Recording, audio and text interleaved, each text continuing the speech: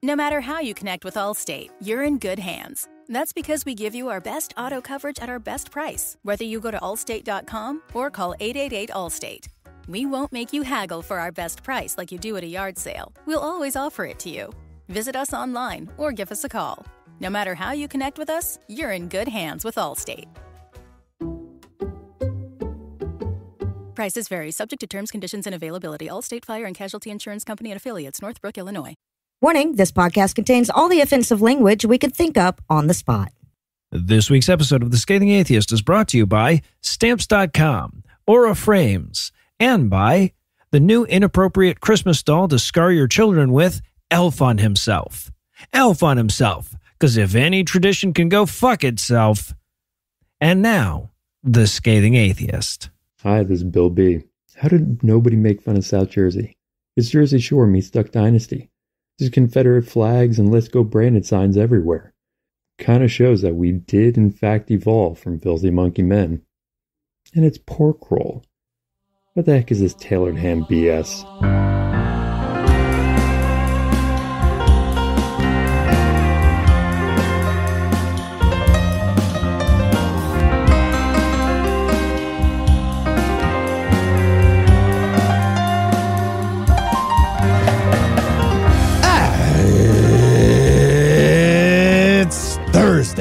It's December 14th. And it's National Screwdriver Day. Yeah, because sometimes you need to start drinking at the very thought of Christmas. I get There you it. go. I'm Noah Lugeons. I'm Eli Bosnick. I'm Heath Enwright. And from Ted Cruz's New Jersey, Ann Arbor, Hey. Michigan, and Waycross, Georgia, he went to Princeton. This is the Scathing Atheist.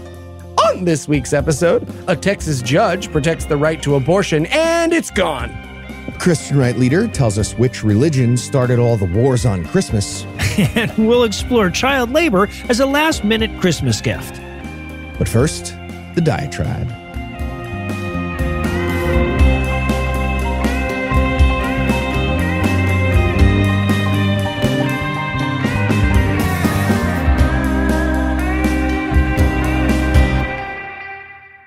I get why atheists are so fatalistic. We have ironclad, knockdown, drag out, logically sound, mathematically provable arguments. We have a five century unbroken streak of scientific discoveries on our side. We have guilt free sex of a thousand flavors and counting, and yet, better than four out of five Americans still believe in God.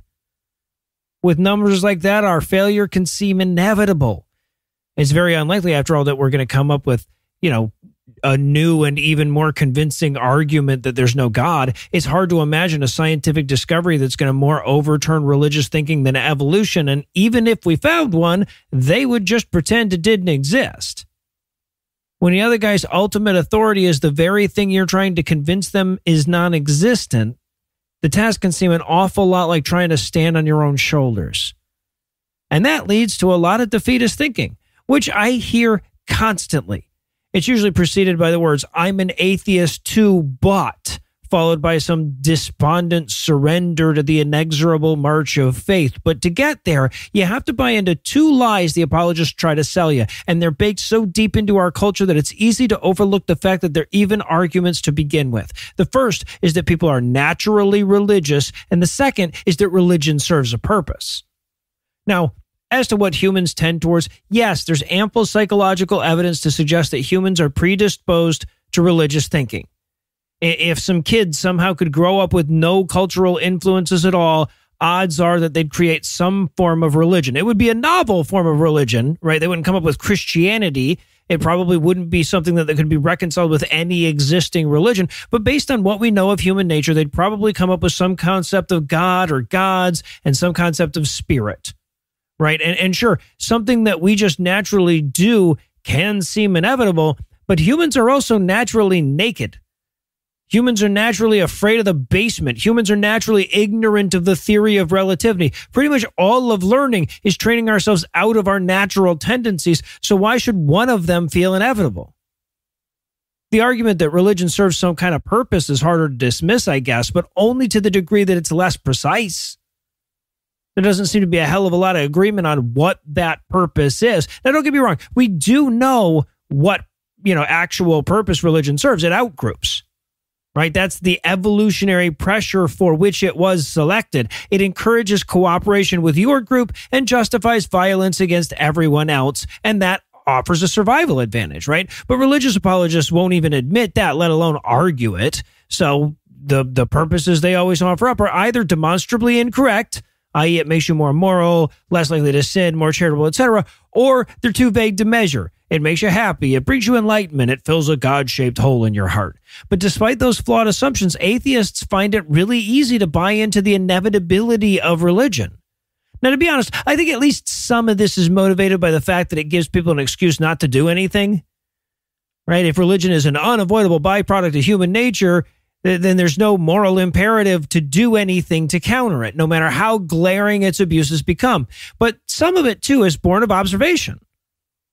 Like, obviously, America has become less religious in the last 20 years. And if you've been alive in America in the last 20 years, you probably noticed. But at the same time, we've seen this massive uptick on, you know, natural crystal vibration, color infused, one with nature spiritualism. So even from within movement atheism, it can still seem like, you know, the second we squeezed a little religion out of society, a bunch of new bullshit rushed in to fill the vacuum. But that's also incorrect. I mean, sure, sometimes the vague category of spiritual can be a stepping stone out of organized religion, but it's unsustainable.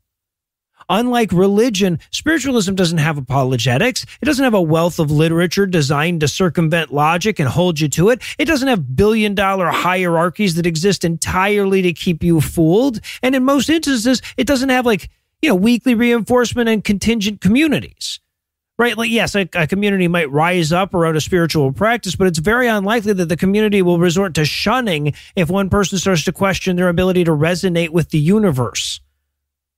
In fact, survey data outright refutes the idea that spirituality is rushing in to fill the vacuum. According to recent numbers from Pew, the percentage of Americans identifying as spiritual but not religious is about 22%. Yes, that's a depressingly huge percent, but six years ago, that number was 27%.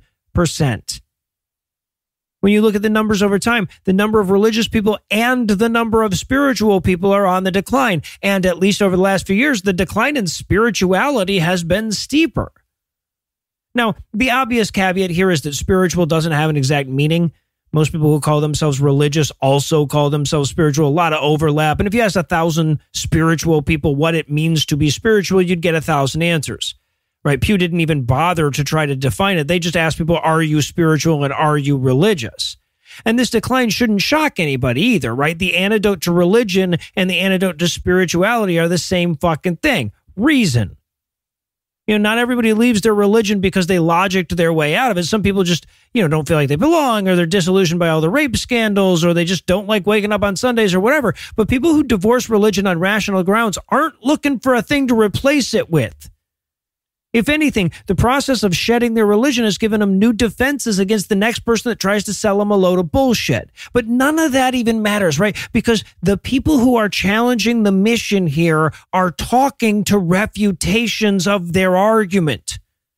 As often as not, they are refutations. Because if religion was inevitable, you couldn't exist.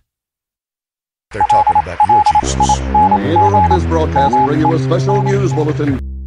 Joining me for headlines tonight are the Ba and Hum to My Bug, Heath Enwright and Eli Bosnick. Fellas, are you ready to get this season the fuck over with or what? Listen, it's just a two game losing streak. The Jags are going to be fine. Lawrence is back. Yeah, I wonder what I'll get for my other six nights of Hanukkah. That's well, my question. You know, I'm pretty confident it's not going to be a win against the fucking Ravens, but we'll hope for a Christmas miracle anyway. As we pause for a word from our first sponsor this week, Stamps.com. The Tragivox 2000. What is that? Dude, I have no idea. I don't know. That's fair. Hey, fellas, what you up to? Oh, we were just going over your Christmas wish list, but you missed a really important thing, Noah.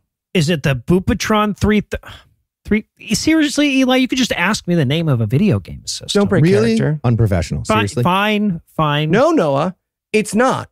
It's stamps.com. Why would I add stamps.com to my wish list? Why wouldn't you? Stamps.com has been helping businesses like yours save time and money during the holiday rush for 25 years with easy access to USPS and UPS services and premium rates for all your postage needs. I mean, that sounds great, but is it going to save me money? It sure will. Get huge carrier discounts up to 84% off USPS and UPS rates to help your bottom line. Plus, stamps.com automatically tells you your cheapest and fastest shipping options. All right, I'm convinced. Where do I sign up?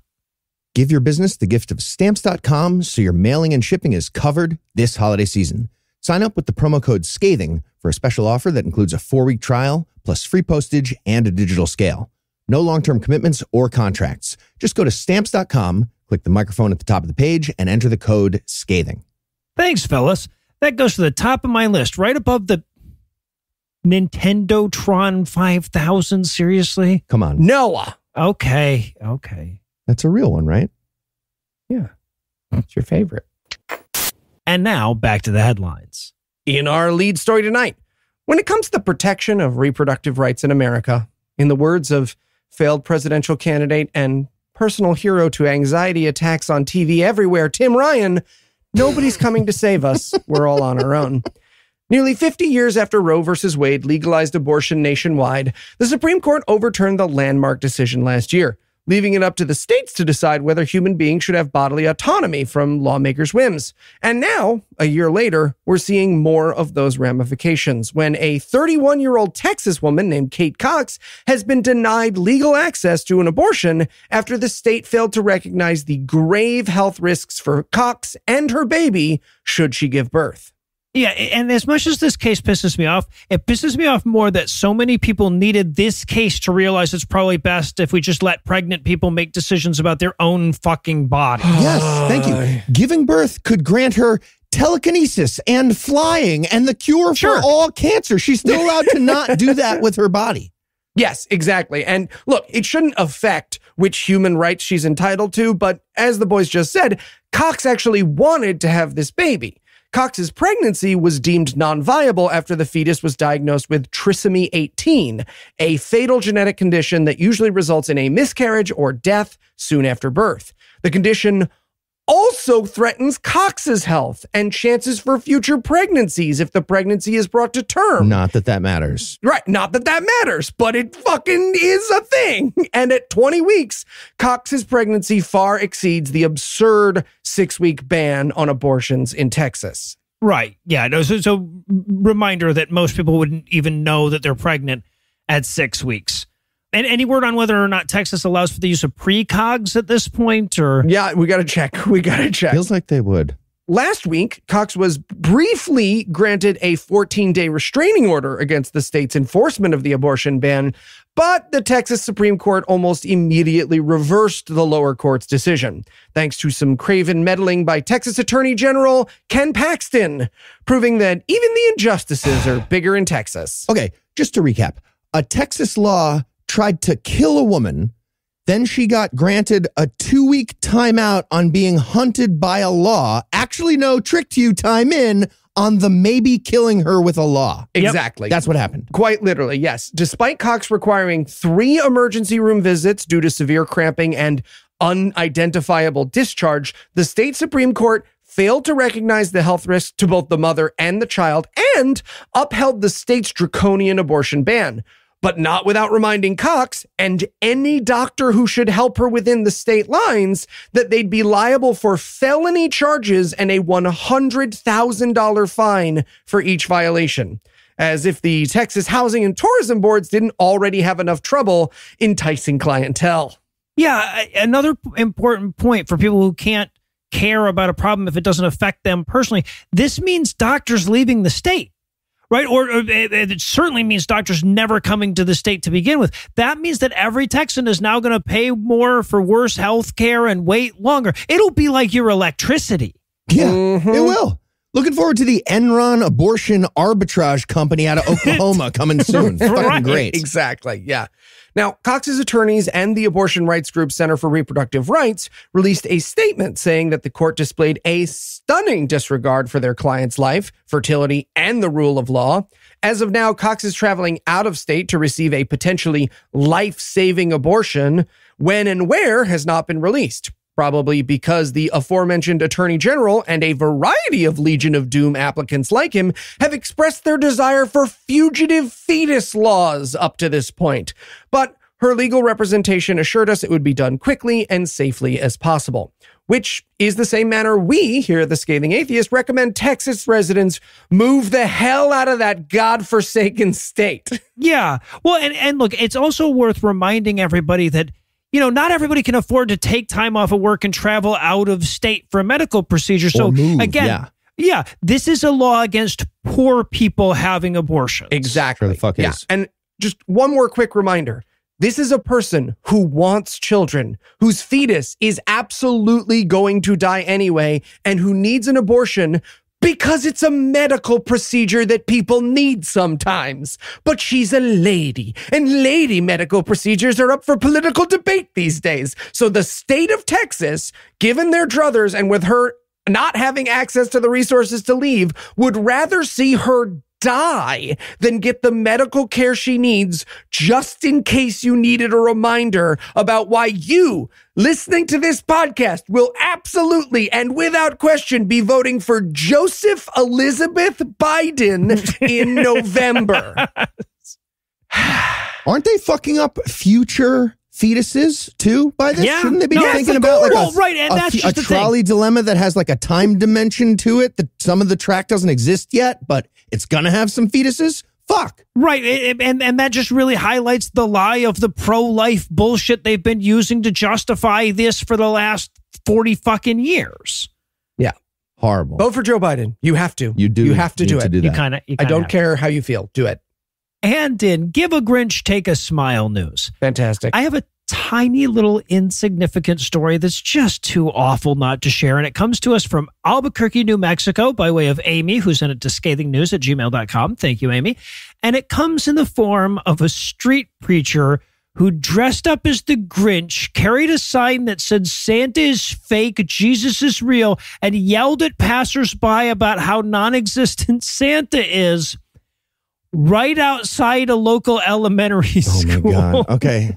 I googled this, and sadly, we do not get to watch a little kid beat the fuck out of the Grinch because that Yeah. would. This is how we know that God's not real. This is why we do the podcast. This is further And- confirmation. how we know that this guy doesn't live in our town. Yeah, right, right. so yeah, so the shit licker in question is David Grisham. He's a preacher from Amarillo, Texas, who just decided to spread the anti-joy far and wide, I guess. And of course, he's a professional asshole. So he checked to see exactly how close he was legally allowed to be to this school. And he chose a school with a bottleneck that would force pretty much every kid to walk or ride right by him. Like a and- terrorist. Cool, cool, cool, cool. yeah, yeah, like- very much like a terrorist. And and when they did, he would shout stuff like, and this is a direct quote captured by local news, quote, there is no Santa Claus, little girl. Christmas is about Jesus. Your parents What? put all the gifts under the tree. End quote. Hey, I got a really good idea about what to do with a 39 and a half foot pole if anyone in that area has one. Or 40, I guess. You want to be slightly above. Yeah, well, right, right. Yeah. No, and look, I don't have kids. And if I did, I'm not actually sure where I'd fall on the Santa thing.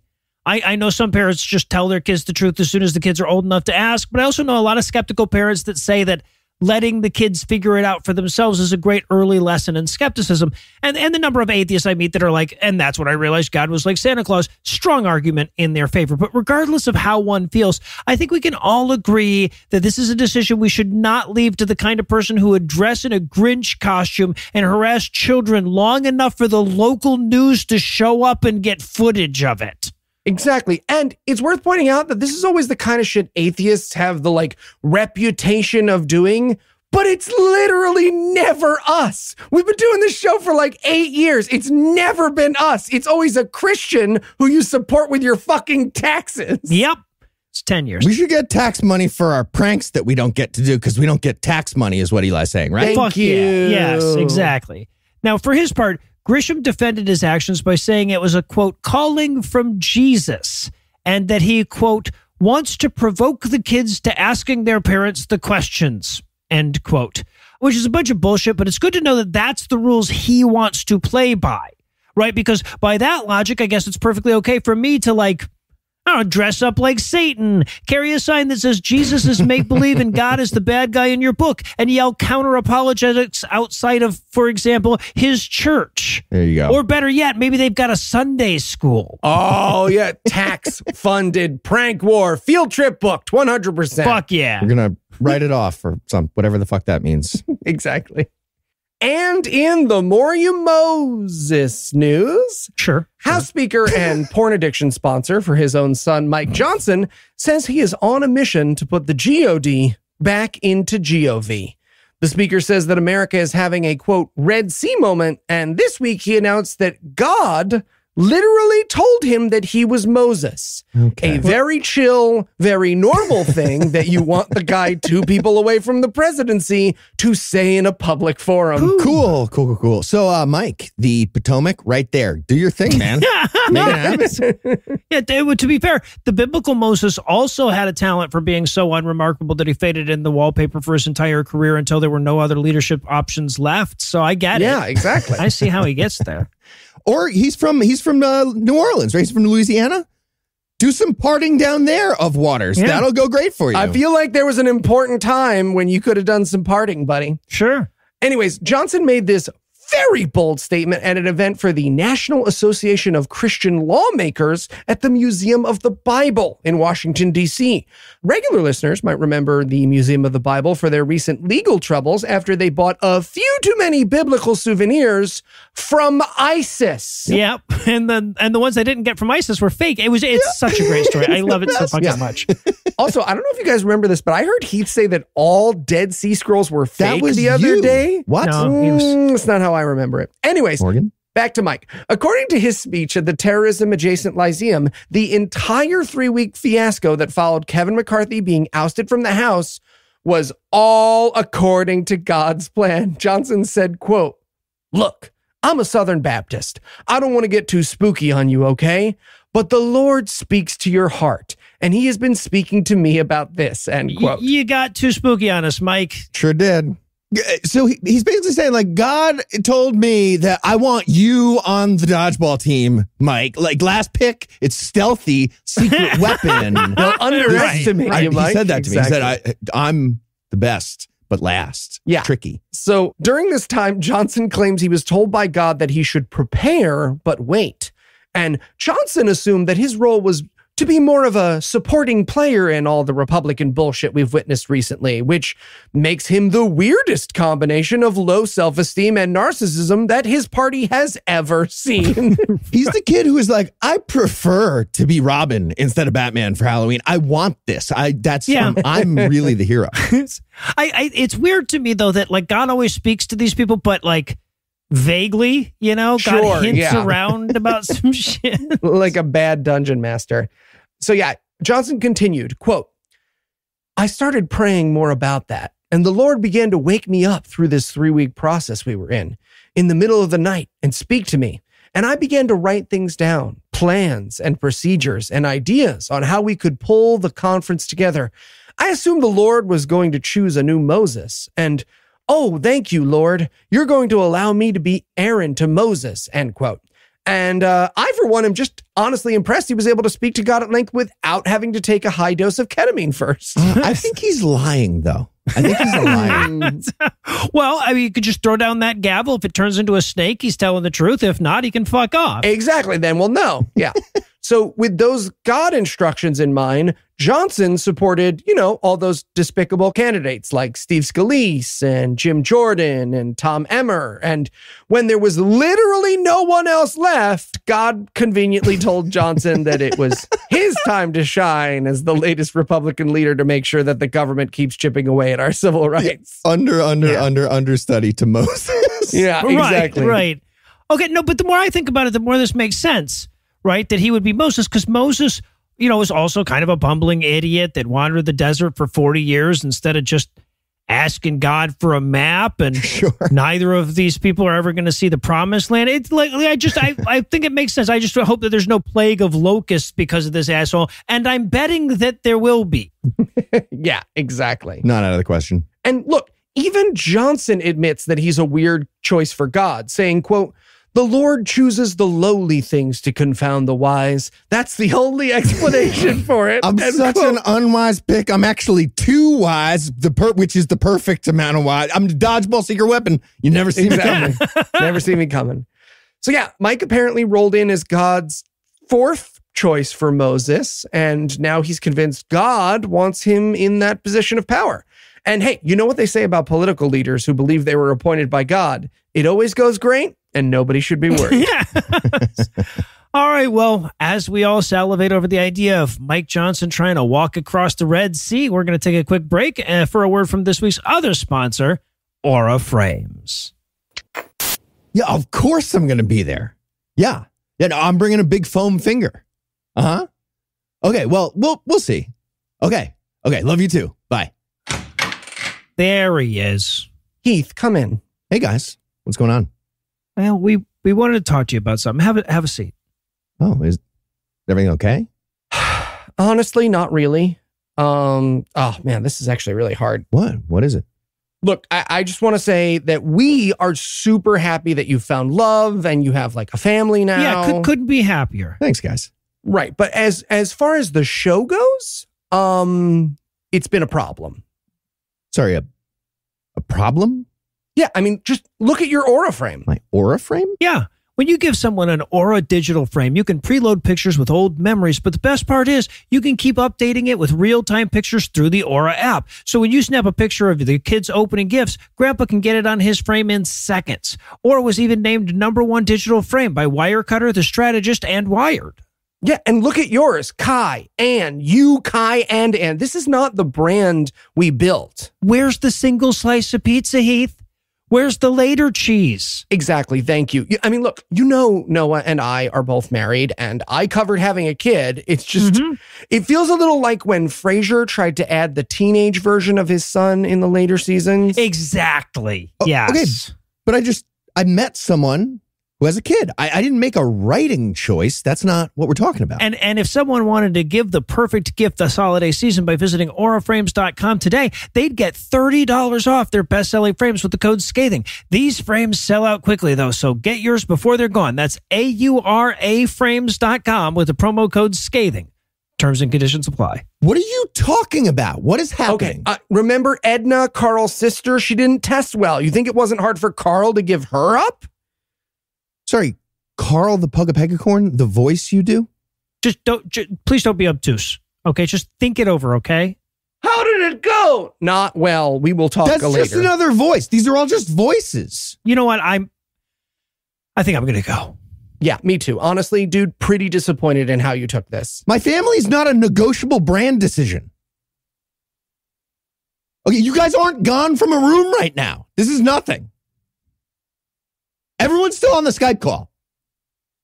Maybe just think about what they Not said. Not now. Well, Fine, fine.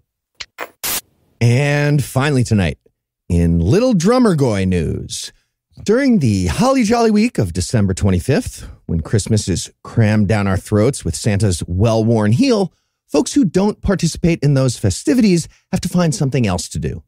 Jewish people, for example, often go to the movies, or they volunteer at a soup kitchen, or as the founder of the right wing social media platform Gab recently discovered, they write some of the most recognizable Christmas carols of all time right in Jesus Christ's face. How would you not? Come on. Why, why would this be the one form of media they don't control bigot? Have a consistent stereotype, will you? Thank you. People, the Rockettes are basically doing a bottle dance from Fiddler on the Roof. Read a mikvah. Yeah, read your own racist book. So clear. Yeah.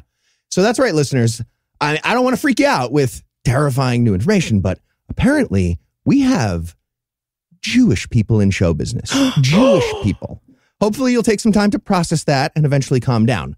But conservative nutbag and Gab founder Andrew Torba will not calm down. He's having a full freak out, but Anna said he does not get a jingle. If you read a book called Christian Nationalism, a biblical guide for taking dominion and discipling nations, no jingle. I think that's fair.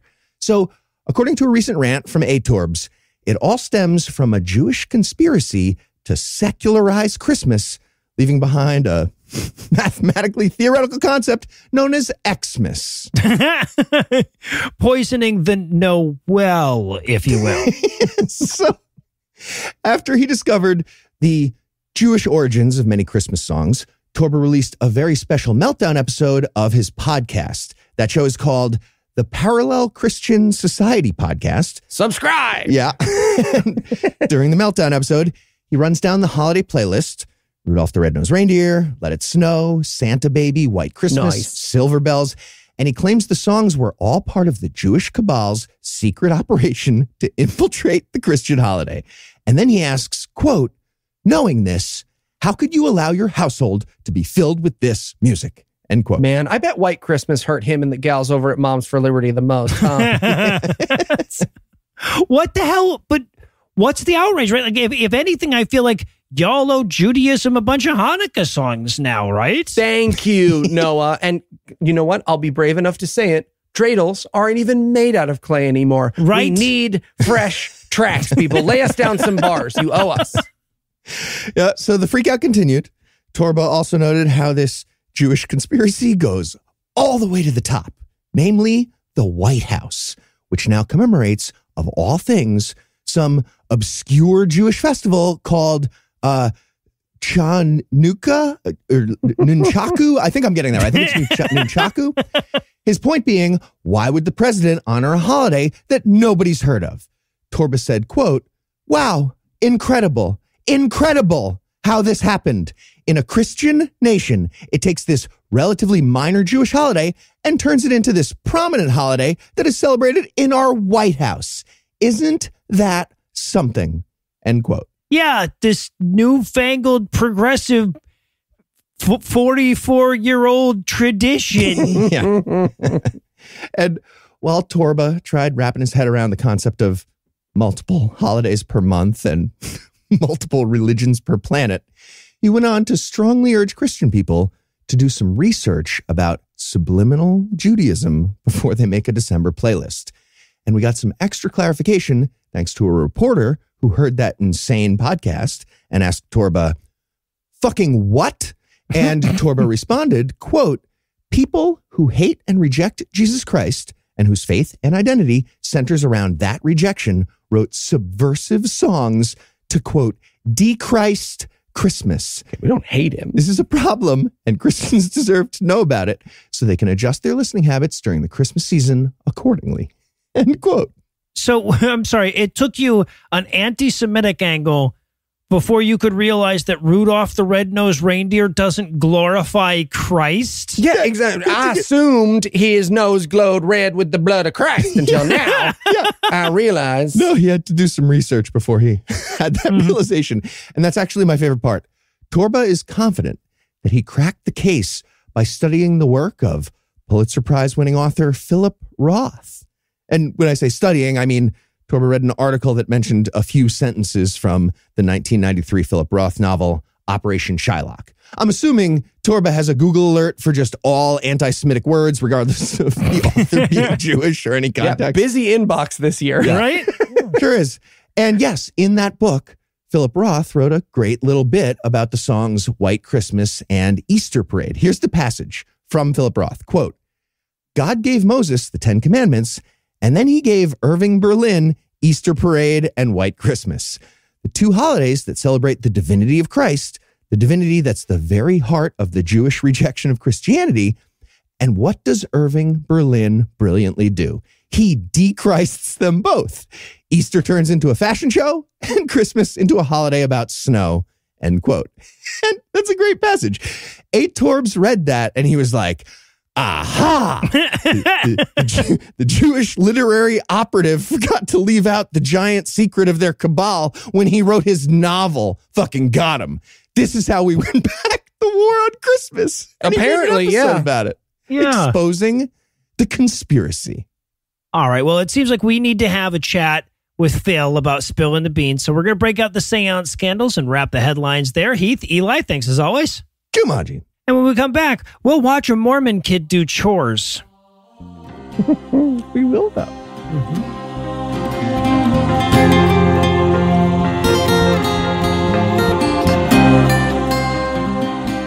Sometimes when we're watching stuff for our sister show God Awful Movies, we'll get an hour in and start wondering if we're physically capable of making it to the end. Well, we're here tonight to prove that the same thing can happen with a 16 minute video in this installment of God awful minis. So tell us, Heath, what will we be breaking down today?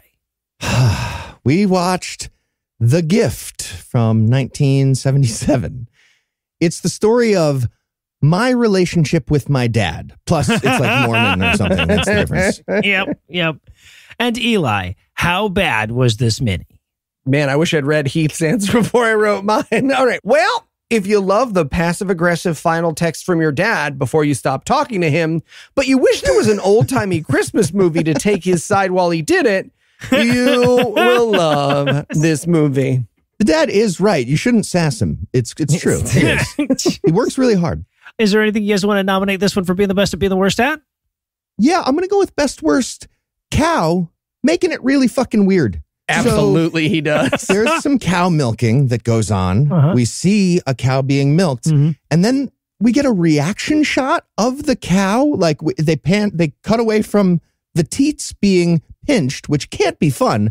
But then the cow in the reaction shot is like, mm, "I'm loving this. I fucking love." yeah, no, the this cow so is very much into it. I think the Yeah, cow's wearing a ball gag. And the kid, the kid doing the milk is like, "I don't. Uh, this is a pretty good technique. I'm gonna stop." Stranger danger. So- and of course, I was going to go with best worst reminding me how old I am. Right, this came from 1977. I was born in 76, and looking at how antiquated and old timey 1977 looks, it's really hard not to reflect on just how goddamn many years I have already gotten on this planet. We should just be grateful you don't have a loud background hiss, no illusions. Yeah, right, right. And I'm going to go with best worst gender equality. That's right, podcast listener. It's time for my heel turn. I go full MRA while watching this movie. All right, so we're going to open this one up with a very 1977 Brigham University logo. Yes, this is brought, brought to us by uh, BYU. And it's followed by an old barn in the snow. Yeah. The panning shot was so boring. I was already at 1.5 speed at this point in the movie. I was like, too slow, It's- it's 1.5. very, very slow. But we do get to see some of the character names here in the opening credits. The characters' names that I saw here were Tav, T A V, Mhm. Berta, Laura Jean, Mary Jean, and Carol Ann. And I was like, "Okay, I quit. I quit. Uh, 16 minute movie. One name for your kids, Mormons. Jesus. Relax. Yeah, right? Trying to make it seem like they have more kids when they list them all off, you know, because they were Mhm. jealous of the people who have 11. Yeah, so we, we pan very slowly across this kid's bedroom. Dad comes and wakes him up. He's like, Wake up, kid. It's already 4 a.m. Don't you gonna sleep all damn day? 4 a.m. Yep. Hey, hey, don't have a farm if you can't work it by yourself. Hire a d- children are not fucking free labor provided by your orgasms. Oh my God. Yeah. Yeah. And the answer to 4 a.m. get up now is fuck you. Yeah. That's the correct answer. I think so. Yeah. Absolutely not. So we watch little Sam wake up. They go into the barn together. The dad's like, Which chore do you want? He says, I'll take the cows. And he's like, Yeah, no, the cows are into it when you milk them. Um, Cows or pigs? I'm going to go with emancipation lawyer, actually, I think is what I will choose instead of the, the ones you offered. Question, Heath, Noah, you're the more poor adjacent. Is pushing around hay an important part of farming? It feels like the cows could just come to the hay. Why does it need to be? he's mucking out the stalls. He's mucking out the stalls, damn it. I don't know what that means. Okay. I don't think there's anything that happens other than moving hay around in my head. I'm just trying to picture it right now. They're, they're just shoveling stuff around. Yeah. Also, is it true that pigs won't eat unless you speak to them in a falsetto voice? Is that Yeah, a part of gotta it? Is that sue like a. That actually is Yeah, you true. okay a dinner and a show thing? All right, Yeah. good to know. I wanted the pigs to like yell back, be like, "Meh, meh, meh, meh, meh, I'm gonna eat the slop. That's you. That's you. We don't sound you. like That's that. what you sound like. So yeah, so we could so dad feeds the pigs and, and mucks the stalls or whatever. He comes back and little Sam has fallen asleep whilst milking the cows. Right, but that's like that's not a lazy thing that people do. That's a child who is so exhausted by his 4 a.m. wake. He's like, stop slacking off with your neurons. Like he doesn't have fucking control of that, Dad. Yeah, Yeah, no, dad just did this entire montage, like just barks chores at him, tells him he's doing shit wrong. If I had to do this much shit in a in a full fucking day, let alone before sun came up, I'd complain about it for a week and a half. Yeah. Oh. Hey, Dad, I was reading Wealth of Nations by Adam Smith. We should do, you know, comparative advantage stuff, specialize. This is dumb. Our whole thing is dumb. Small farm? Really? Come on, man. You, just you, you came here and you thought, you know what I'll do? I'll come out of workforce. So meanwhile, we cut inside. Mom's inside cooking breakfast. And that's when I wrote in my notes, oh, fuck yeah, they have to do all this shit before eating anything. Ugh. Yeah. Also, I should point out that these people probably shouldn't have had kids when they are 97 years old. I know they're probably in their like early 40s, late 30s, and 1977 was just rough on the skin, but I they guess. look sunbeaten. Yeah, the scene Withered. starts with like Cloris Leachman making breakfast, and she's supposed to Right. be mom. And I was like, okay, that's unrealistic, or is it? Also, just worth noting that these parents talk to each other like they're about to sit down to negotiate a peace treaty in Northern Ireland. they totally do. He calls her mother and she just loathes him with every word out of her mouth. Mm-hmm. Oh yeah, the dad calls her mother when he walks in, and I was like, okay, so it's grandma. Maybe that makes. Oh no, it's probably a Mike Pence thing. no, it's a Mike Gross. Pence thing. Yeah, they got you. Yeah. Ugh. So the kid goes into worship. It's the kind of thing that you have to put an R in the word wash to, to properly describe. He goes to worship and we hear mom and dad talking. Mom's like, wow, him getting up at 4 a.m. Maybe we should get him an, alarm clock for Christmas. And I'm like, oh, yeah, just what he wanted. I'm sure. He's be very That's the problem. It's not Clock or, sudden uh, enough. His 4 a.m. wake up. Maybe we hire an adult. I don't know, one or the other. Maybe hmm. we don't base our family's wealth on the workforce that doesn't exist yet. Yeah.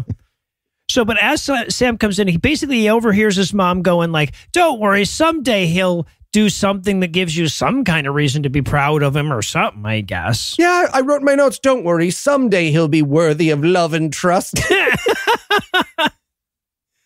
So Sam hears that he goes upstairs. He's without breakfast or anything. Mom goes up to check on him.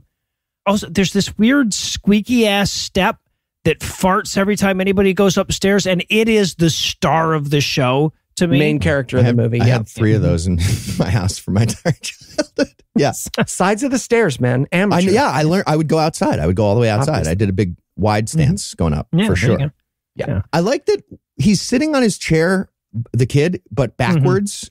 So when mom comes in, she's like, "Hey, Sam, oh, you're you're already doing the turnaround chair thing. It kind of fucks up my pep talk plan. I was going to do like a pep talk. So all uh, well, Can we I'll can sit we on switch? the bed Can over we here. swap?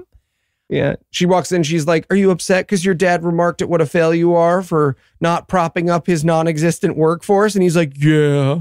Yeah. right. Yeah. He's like, hey, mom, what does dad mean by his loathing and shame of me? And she's like, well, you know, um, he loves you, but he's keeping it a secret. yes. She goes, Well, she says he's trying to give you something. And he says, What's he trying to give me? And this is her real answer. Um, what do you want to be when you grow up? Yeah. And he says an adult. I think he says a man, which is A he says, man, my, my own man. Yeah. uh-huh. Yeah. Oh, okay. That's better. I thought he just said a man. And I was like, Cool. That's a lock. Oh yeah, I was like, okay, great. Dad's giving you the time dimension as a gift. That's the gift. At first, I thought it was going to be gumption, and it's sort of both. Well, it Great. is gumption. Right. Yeah, exactly. What do you want to be? I, I'm my own man. I'm like, woof. What? Yeah. Choose. Come on, go astronaut. It's 1977, kid. And this is where mom says, Your dad loves you. He just can't say it. And he says, Yeah, neither can I. And I wrote in my notes, See, that's what we call cause and effect, Sam. That's a Yeah, cause and an effect. That's also what we call understand 1977. But You don't yeah, find right, love right. until yeah. you're in your 40s. Fuck up the Oriflame ad. None of this, none of the, none of the things you said made any sense. And then mom says, and I want, I want, I'm going to be vulnerable here. I'm going to open up my heart. She says there are other ways of saying it with your actions. And I need you to tell me that's not, you should fuck your dad. Cause it definitely feels like she's telling Sam to fuck his dad. you can give him a handy, for example. Yeah, no, but she, what she's saying is that it's okay to withhold terms of his in, uh, affection as long as you make up for it with awesome gifts. And I'm like, I don't think that's how it works at all. Plus, you were talking about getting this kid an alarm Yeah. clock. So Also, what the fuck is this kid going to do with that information? Like, oh, let me just uh, pop up Amazon, get dad a gift card for hay. What are we talking about right now? Yeah, but the key here is that now he's on the hunt for a perfect gift for dad. And I'm like, why? Dad is an asshole. All we've seen him do is asshole up to this point. Right? Right. Even if you have money, it's money he's given you. So it's this weird fucking take the tithes that fa papa has given you and buy a, le- a liege for God. It's fucking insane. so, so, okay, so it's the next day. We cut to him looking through the Sears catalog at ties. oh, is that what that is? yeah. I thought it was a phone book of bullshit. I thought it was a That's phone what I wrote in my notes. It's very large. yeah. it's huge. yeah. Noah, is this how you bought your engagement ring for Lucinda? You have to tell us. It's All like right, God damn it. I, I, I was wanting to I was wanting to be like no it was wait but it was 1997 it was only 20 years away from this and it was pre Amazon I do believe. So yeah that's a, actually a pretty good question. No it's not. So yeah so he's looking through ties. He's and it, this is when we learn that he has sisters right? Because he, he's got uh, two sisters standing around him also looking at the Sears catalog with him. Other kids who could do manual. He's three, three fucking sisters who could help with the manual labor. yep a third one comes in in a second yeah Feminism harms men. I'll say it. I'm a, I'm finally free to oh, say. nope feminism would have him working Yes, It's- exactly. yeah. It's misogyny that harms men. If they just split the chores, they could all wake up at six. Damn it. yeah. so Okay, question for the panel. When the sister and Samuel here interact, were you getting a vibe? Like, The sexual tension between the siblings. thank you. Okay. del- Absolutely. Oh, they were about to make 100% coffee sister energy together. for Yes. sure. Yes. yes, I was just gonna say the Foster siblings. This is the prequel. yeah, right, right, yeah, uh huh. Those people fucked each other. Oh yeah. The best part of waking up. So then we cut to uh, Dad and Sam toting a big milk container. While the women sit in soft armchairs and read about dolls in the phone book. Was that thing a milk container? The thing that looked like it had uranium inside? Yes, yeah. Okay. uh-huh. Is that what we use now for that? I don't know. I've, it's been a while since I've been at a dairy farm. So, but yeah, they're Road selling their milk to road old trip. Mr. Carruthers. And There's this just stupid exchange where they're just like, basically, they just turn to each other and they go, Well, we sure are simple, impoverished farm folk, ain't we? Yes, we are. Salt of the earth. Yep, salt of Yeah. the earth. It's really sad. He, he says, Times will get better. And I wrote in my notes, narrator voice. No, they literally would not. Not for these guys. Ron Howard comes in. The 80s are going to be great for the little guy. Nope, nope, sure are. so, absolutely not. So yeah, so so Sam gets dad's present delivered by ye olde Amazon or whatever. We see him coming into the house and, and picking it up. We see them like they're splitting wood, but they're poor, so they don't have axes. So they have to use a wedge and a hammer. Yeah, like that's a thing, but just this would be a mall. It's fine. This is splittable with a mall. If it's way bigger, you could do the wedge. Come on, just best worst axing, best worst w- wood splitting. I was mad. Okay. Come on. Look, there, there's a reason these people are poor and stay poor, and it's because they don't know about our super cool Jewish malls. And we wrote their Christmas songs, yeah, well, that helps. Most importantly, if that was on this episode. Yeah, pretty sure it was. So yeah, so Sam and, and then his dad they stop and they look at this guy. There's this really like bizarrely stupid moment where the dad's like, "You see that bright star right there? Why that probably looks like the star of Bethlehem, but it's the day." yeah. Right? Like we, we like we we can see the sky behind them. It is very clearly like 4:30. The kid, both the kid, the character, and the actor are just like no because it, because it's day. It's also completely overcast. What the fuck are you talking about? I wanted him so badly to be pointing at the sun, and the sun's just like, that's the sun, Dad. Ah. yeah, you know what? Maybe Farmer was a pretty good choice for you, huh? Yeah, actually. but the kid's like, nope, don't see it, and that's just like, well, it's the star of Bethlehem Act- that you can't see. Fuck you. It's like Do it's it. like yeah, he's like I, I imagine the star of Bethlehem looked just like that, and I'm like, if this, if the next scene is them getting hit by a meteor, I will love this fucking movie, right? Big asteroid crashes into him. Oh, it's just the rest of the movie is the what was that Nicolas Cage one where the purple light comes out and drives everybody insane? I think that's just Nick Cage's life. I don't know what that's movie Nick it Cage. is. That's what right, happened to Nick Cage in the nineties. Yeah. So that night, they're all gathered around. They're listening to dad read from the Book of Mormon. He starts with, and it came to pass. And then he gets like two more, and it came to passes in in this same fucking uh, Fuck yeah, he Hey, also, can I say, I almost went with best worst pronunciation of Bethlehem. He's like, Bethlehem, or whatever the fuck he says. Bethlehem. He says Yeah. Bethlehem over and over again. He goes hard. Where the Beverly Hillbillies were born. yeah. Right. So he, t- yeah, he tells the story of Jesus in the manger, whatever. And one of the daughters is like, all that happened in a barn.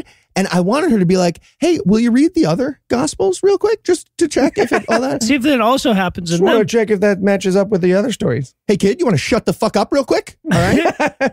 Well, the little girl is like, you know, wow, we have a barn. Do you think we could have a mythical god king born in our barn? And they're like, no, we can't. We just already had just the one. Cannot. I love the that. one. Yeah. The little girl's like, just like our barn, daddy. And he's like, no.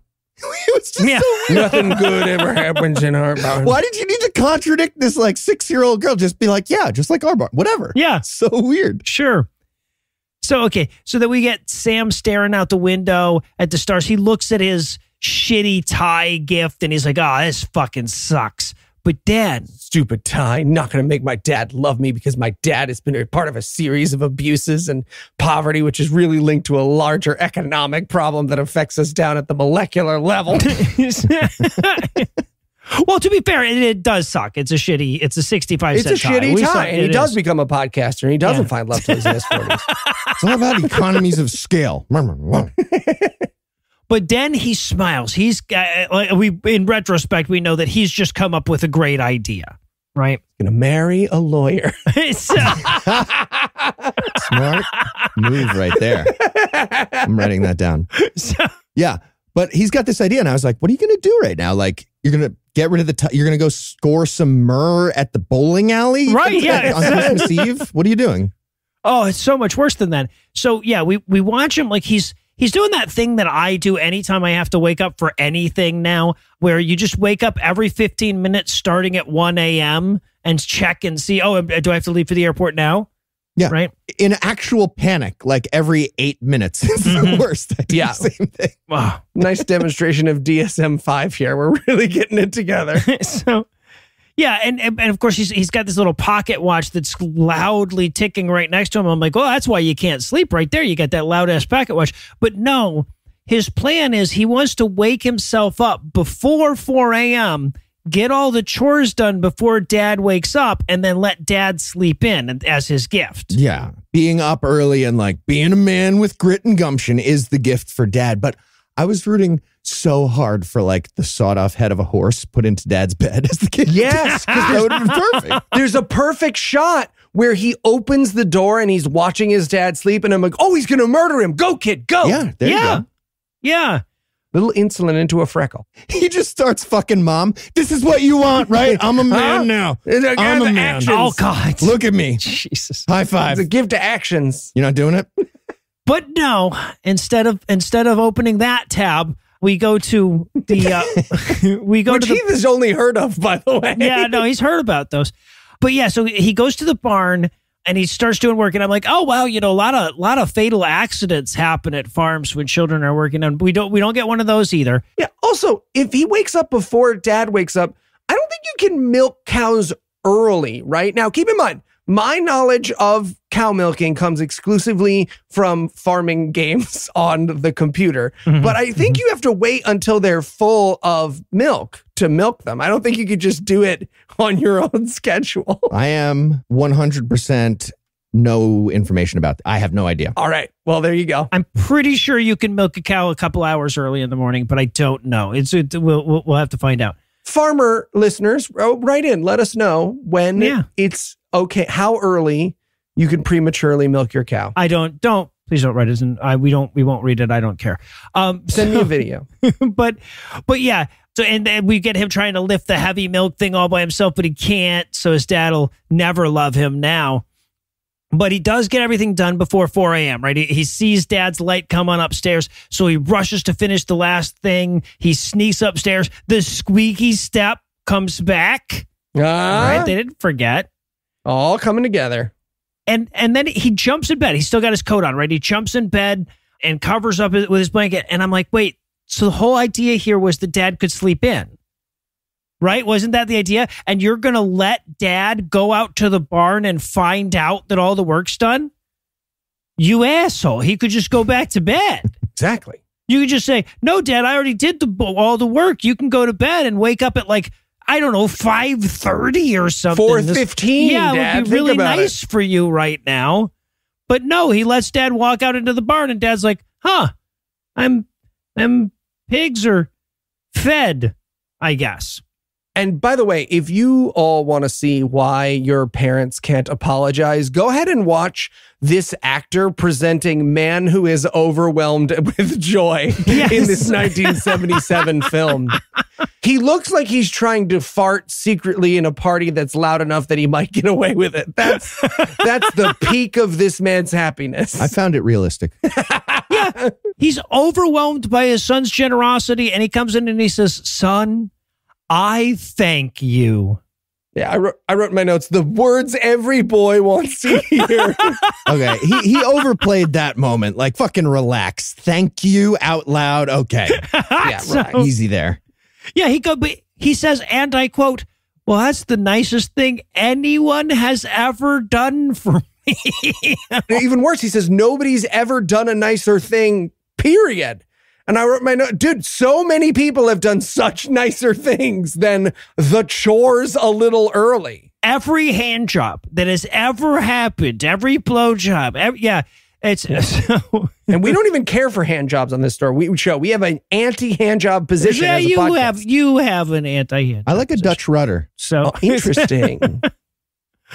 So yeah, so but he assures his son that he'll remember this gift forever, and then we hear his sisters waking up upstairs. Right? They, they I guess they get to sleep Naturally, into four on oh their own time, whenever they want. Feminazis. Sexism. Uh, so, What? but yeah, and then Dad says, "You know, I've never got to see you kids come downstairs on Christmas morning because I'm always out doing the fucking chores." And I'm like, "Wow, your life is really sad and miserable and awful." Just wow, life is so much better now.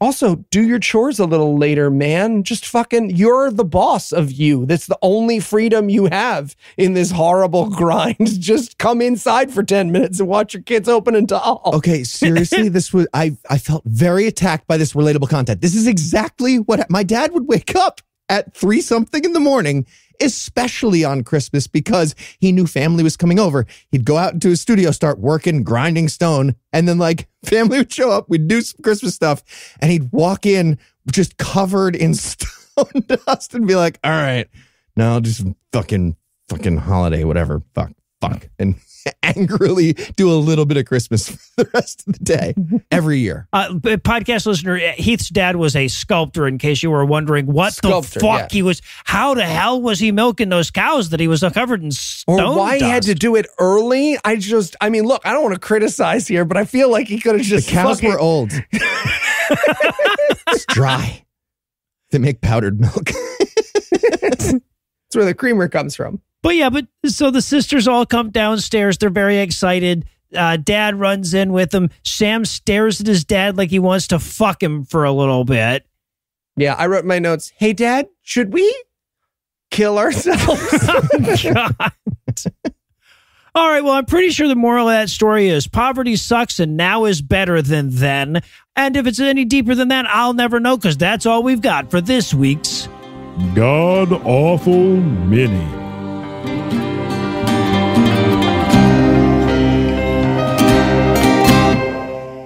Before we reel this episode in, I want to wish all our listeners a happy Hanukkah. We're atheists. We can celebrate whatever the fuck holidays we want. Anyway, that's all blasphemy we've got for you tonight. We'll be back in 10,022 minutes with more. If you can't wait that long, be on the lookout for a brand new episode of our sister show, The Skepticrat, debuting at 7 Eastern on Monday, and an even newer episode of our sister show's Hot Friend God Awful Movies, debuting at 7 Eastern on Tuesday, and an even newer episode of our half sister show Citation Needed, debuting at noon Eastern on Wednesday. Obviously, I'd have failed at outroing if I neglected to thank Heath Enwright for keeping me sane, Eli Bosnick for making sure it's not too sane, and Lucinda Lugeons for making my days merry and bright year round. I also want to thank Bill B for providing this week's Farnsworth quote slash roast of South Jersey. But most of all, of course, I want to thank this week's most captivating Catarines, Mark, Jason, Stephen, Danielle, Jacqueline, and Stein. Mark and Jason, who are so bright I have to put on sunglasses to read their names. Stephen and Danielle, whose legendary badassery is all the solution the Fermi paradox needs. And Jacqueline and Stein, who are so hot their skin hisses when they sweat. Together, these six sexy secularists secured our sacrilege this week by giving us money. Not everybody has the money it takes to give some to us, but if you do, you can make a per episode donation at patreon.com slash scathing atheist, whereby you own early access to an extended ad-free version of every episode, or you can make a one-time donation by clicking on the donate button on the right side of the homepage at scathingatheist.com. And if you'd like to help, but you just spent all your money buying presents for people who you don't even really like, you can also help a ton by leaving us a five-star review, telling a friend about the show, and following us on social media. And speaking of social media, Tim Robertson handles that for us. Additional writing for this episode was provided by Mike Schuster and Andrea Romano, and our audio engineer is Morgan Clark, who also wrote all the music that was used in this episode, which was used with permission. If you have questions, comments, or death threats, you'll find all the contact info on the contact page at scathingatheist.com.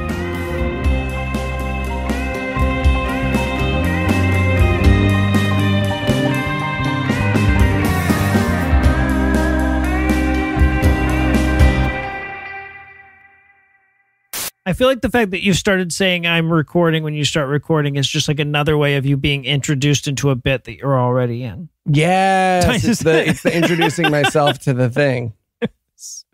Because I'm Yeah. working with uh, less professional Just podcasters as soon as these Noah days. starts the headlines, we're on a podcast. I'm here, me, Eli. and now I'm podcasting on the air when you can hear me. I'm in an MP3 now. I will live forever. The preceding podcast was a production of Puzzle in a Thunderstorm LLC, copyright 2023, all rights reserved.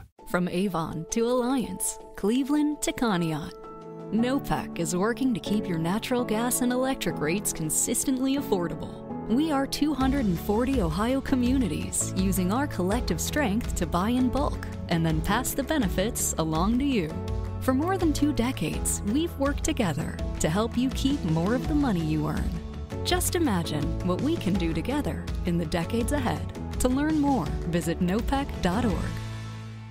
Apresúrate a la venta de Super Sábado de JCPenney. Con entrega de cupones en la tienda este sábado mientras duren, podrías ahorrar 10, 100 o hasta 500 dólares en toda tu compra. Las puertas abren a las 9 a.m. Aprovecha los miles de doorbusters por toda la tienda y descubre ofertas irresistibles en marcas como Adidas, Levi's, Disney y Cuisinart. JCPenney. Celebraciones que valen la pena. Cupón válido solo el 16 de diciembre en selección de estilos. Aplican exclusiones. Entrega de cupones solo en la tienda. Debe ser mayor de 18 años. Detalles en la tienda jcp.com.